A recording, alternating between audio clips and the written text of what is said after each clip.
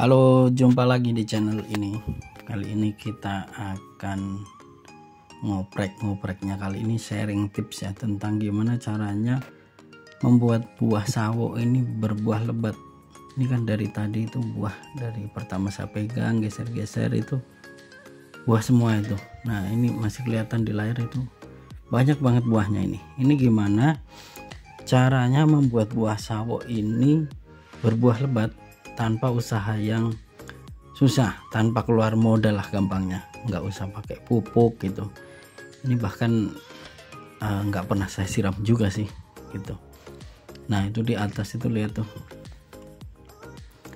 Ini kita coba zoom ya ini biar kelihatan. Nah itu itu kayaknya jumlahnya puluhan sih bukan belasan puluhan itu. Banyak banget gitu tapi kalau buahnya banyak gini ada sedikit kekurangannya ya.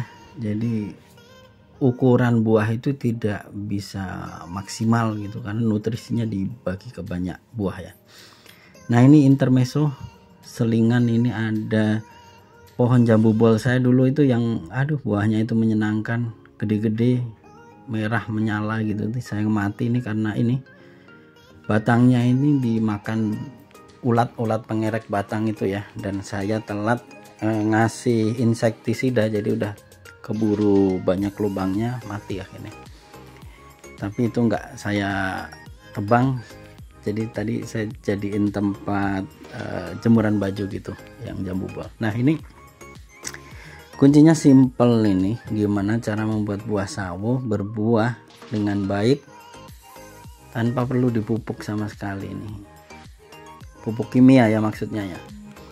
Nah ini kuncinya di sini. Waduh ini agak susah dibuka ini. Oke. Uh, kita dorong. Kita coba lagi. Uh, ah kebuka akhirnya ini. Nah ini ada pipa ini di dalamnya. Ini saya masukin ini ya bekas sampah organik lah gampangnya. Kadang bekas kulit buah bekas potongan sayur saya buka tadi di sebelah kiri ada.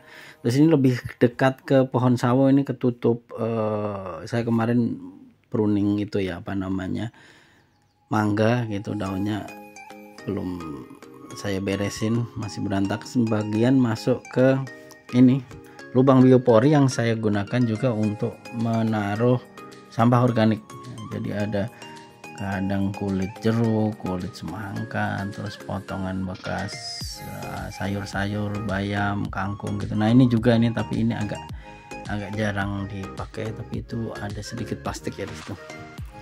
Oke itu kira-kira tips biar buah sawo ini berbuah lebat tanpa perlu dipupuk. Oke sekian tipsnya. Terima kasih semuanya. Bye bye.